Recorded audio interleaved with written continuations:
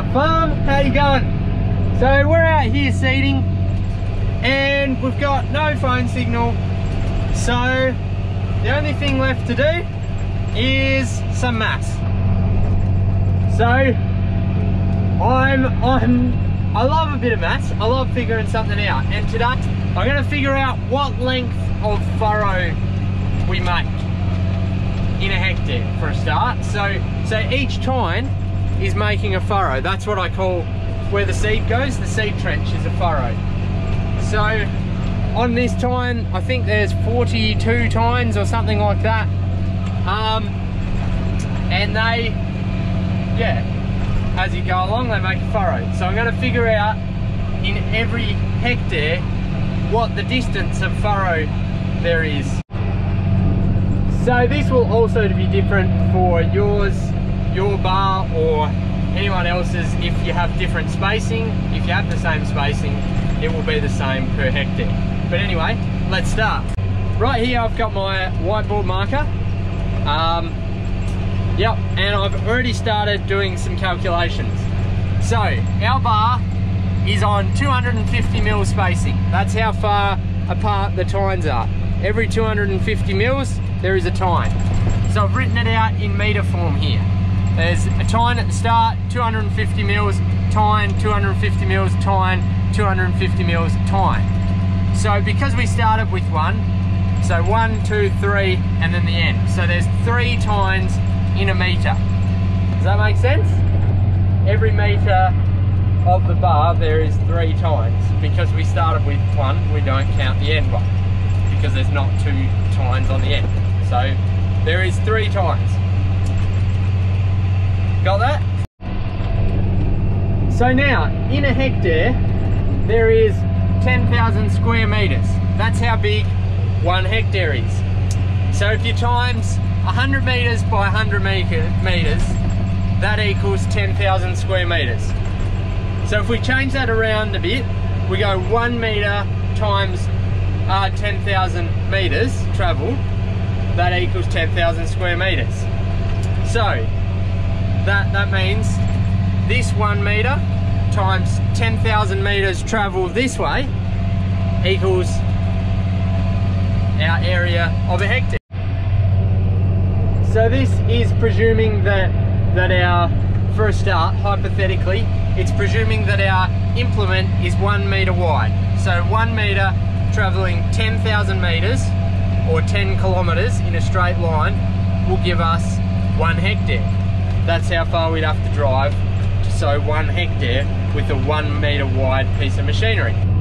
Three times times 10,000 meters traveled equals 30,000.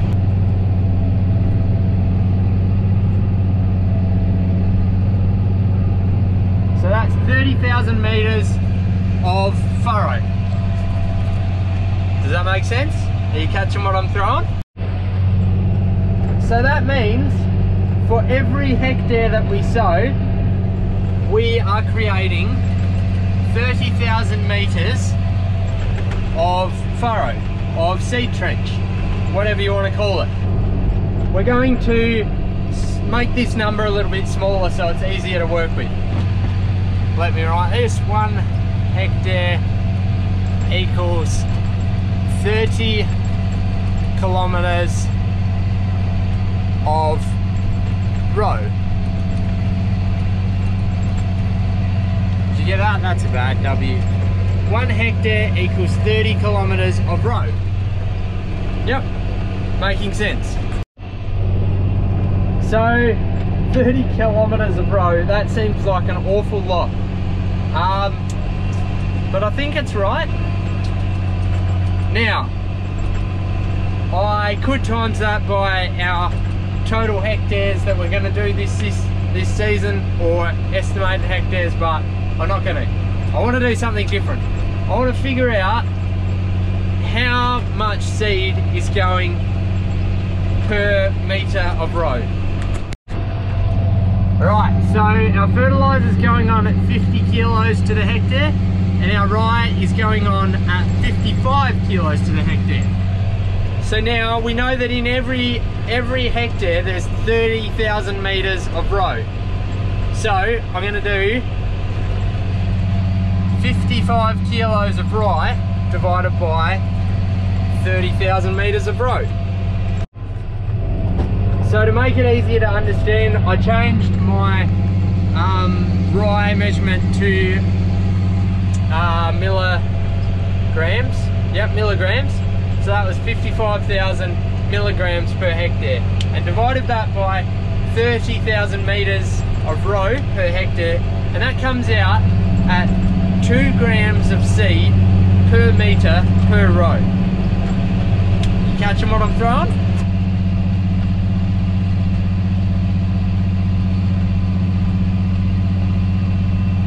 Two grams of seed per metre of row. Gee, that's interesting. I uh, I didn't know that it would be that much. Now I thought I thought it would be more than that, but it all all my calculations come out right, but my calculations could be wrong. Um, but yeah, that's what I think that it's sowing at. Two grams of seed per metre of row. I guess a metre's not very far, and it's only got to drop a few in that metre, but yeah, that's pretty cool. But now I'm going to get to the big calculation. So if in every hectare we sow, in every hectare we sow, we create 30 kilometres of row. This year, between both machines, the big machine and this machine, we're hoping our program is going to be somewhere around probably 3,000 hectares with these or we'll say 3,200. Um, so I'll do 3,200 hectares times 30 kilometres of road per hectare. So I've just done the calculation. This year between these two machines we're going to do 3,200 hectares and we're making 30, 30 kilometres of row per hectare that we sow. So that means this year we are gonna make, ready? Are you ready? 96,000 kilometers of road. 96,000 kilometers of road. That is a lot. In one hectare, we make 30 Ks of road. And on this machine, we have 42 tines. So that means that each tine is creating 714 meters of road per hectare. So I was still doubting my cal calculations, but right now, after doing that, that seems quite um, feasible. Quite, yeah, seems like seems like it's about right. So yeah, that's a lot of meters. That's a lot of a lot of time dragging through the through the dirt for a for a point on the end of a tine. And also the press wheels are spinning along. That's how long how far they're driving, like how long they're going for every hectare too. Every press wheel is doing 714 meters. So yeah, it's pretty impressive when you break it down like that. So yeah, that was just a little a little uh, maths outburst that I had, something that I wanted to figure out. Um, if you liked it, let me know in the comments. If you want to hear any other calculations or anything like that, if you think I've done it wrong, let, please let me know because I want to get it right. Um, but yeah, I think it's right. I think it's all pretty much right. Um, but yeah, I hope you enjoyed it uh, like this video and subscribe for more. And uh, we'll see you in the next one.